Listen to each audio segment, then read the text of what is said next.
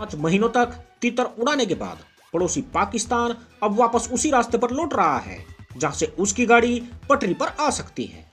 पाकिस्तान धार्मिक भावनाओं को तवज्जो देकर धीरे धीरे भारत के साथ संबंध सामान्य बनाने की नीति पर काम कर रहा है। करतारपुर कॉरिडोर को खोलने के बाद अब उसने कटास राज मंदिर के दर्शनों के लिए भारतीय श्रद्धालुओं को पाकिस्तान आने का न्योता दिया है। इसका मतलब यह है कि भारत से रिश्ते खराब करने से उसकी अपनी मुश्किल बढ़ गई है, जो हर बीते दिन के साथ उसकी समस्याओं को और ज़्यादा बढ़ा रही है। उसकी गाड़ी को पटरी पर लाने का एक रास्ता धार्मिक स्थलों को भारतीयों के लिए खोलकर नरम दिली दिखाने से बन सकता है। वैसे भी अन्य सारे चैनल पाकिस्तान पहले ही बंद कर चुका है। ले देकर यही एक कूटनीतिक माध्यम इसके पास सुरक्षित था, जिसका उसने इस्तेमाल करना शुरू कर दिया है।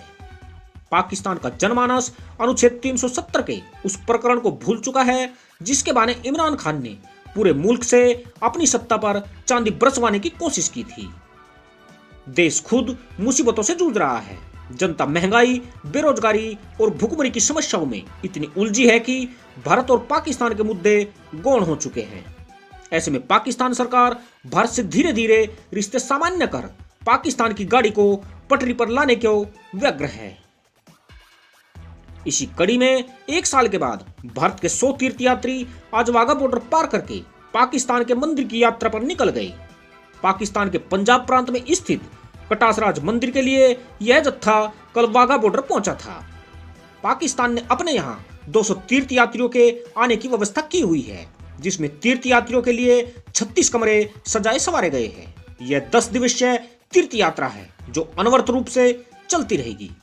कटासराज मंदिर कई हिंदू मंदिरों से भी जुड़ा हुआ है। इसके परिसर में कटास नामक एक तालाब भी है, जिसे हिंदुओं द्वारा पवित्र माना जाता है।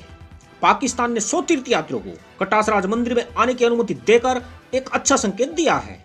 उम्मीद यही की जा रही है कि पाकिस्तान भारत के साथ अपने संबंधों को सामान्य करने पर और अधिक ज़ोर देगा। इसी के साथ अनुमति दोस्तों, जय हिंद।